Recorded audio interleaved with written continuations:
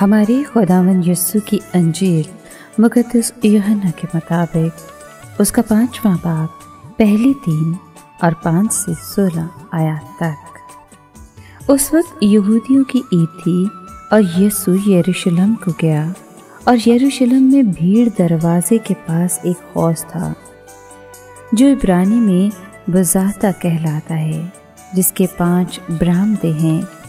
उनमें बहुत से नातमा पड़े थे। अंधे, लंगड़े और पजमुर्दा। और वहाँ एक शख्स था जो अड़तीस वर्ष से बीमार था। यीशु ने जब उसे पड़ा देखा और जाना कि वो बड़ी मुद्दत से इस हालत में है तो उससे कहा कि क्या तू तंदुरुस्त होना चाहता है? उस बीमार ने उसे जवाब दिया कि खुदावन मेरे पास कोई आदमी नहीं कि जब ये पानी हिले तो मुझे हौस में उतार दे। और जब तक मैं खुद आ पहुंचूं तो दूसरा मुझसे पहले उतर पड़ता है। यसु ने उससे कहा, उठ और अपना खटोला उठाकर चला जा। फील फूर वो शख्स तंदुरुस्त हो गया और अपना खटोला उठाकर चला गया, और वो सपत का दिन था। बस यहूदियों ने उससे, जिसने शिफा पाई थी, कहा कि आज सपत है। तुझे रवा नहीं कि अपने खटोले को उठा ले जाए। उसने उन्हें जवाब दिया कि जिसने मुझे शिफा बख्शी, उसी ने मुझे फरमाया कि अपना खटोला उठाकर चला जा। तब उन्होंने उससे पूछा कि वो कौन शख्स है जिसने तुझसे कहा कि अपना खटोला उठाकर चला जा, मगर शिफा याफ्ता नहीं जानता था कि कौन है। क्योंकि यीशु वहाँ के हजूम के सबब से टल गया था। बाद यीशु ने उसे हैकल में पाया और उससे कहा, देख, तूने शिफा पाई है। फिर गुनाह न करना। ऐसा न हो कि तेरा हाल उससे भी बदतर हो जाए।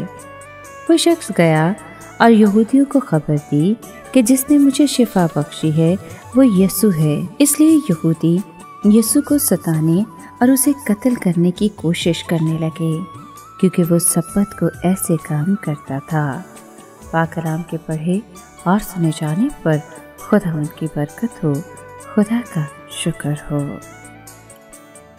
अज़ीज़ दोस्तों, आज के कलाम में हमने सुना कि यस्सु यरूशलेम को गया।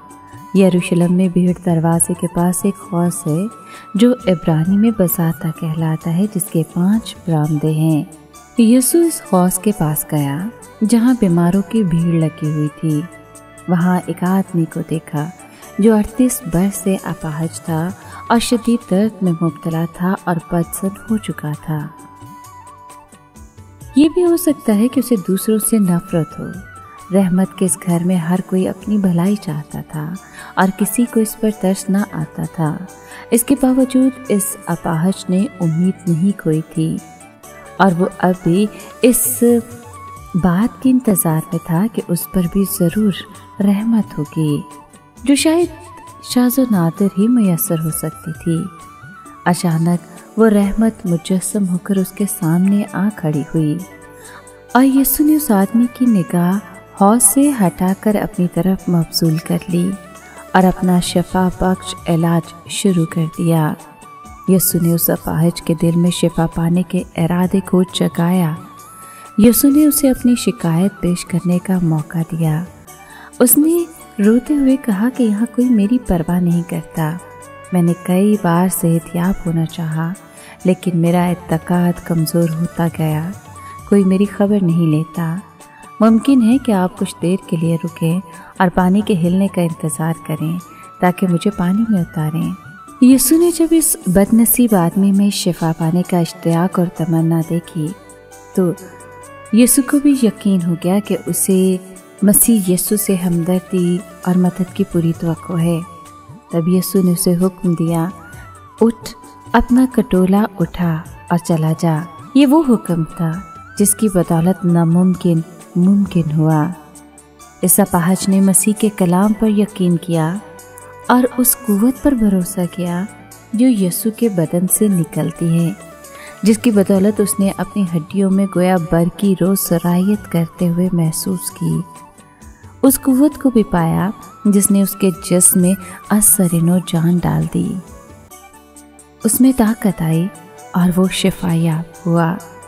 अचानक वो खुशी से उछल पड़ा, उठ खड़ा हुआ और अपना बिस्तर अपने सर पर उठाकर खुशी से चल दिया।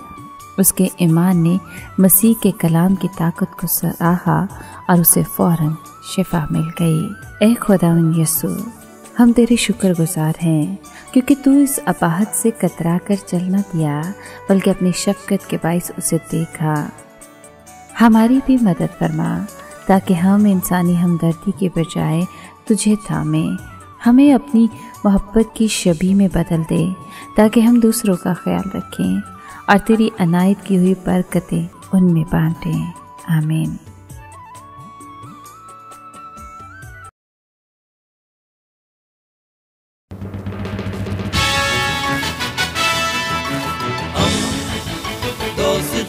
पैम्बर रेडियो एशिया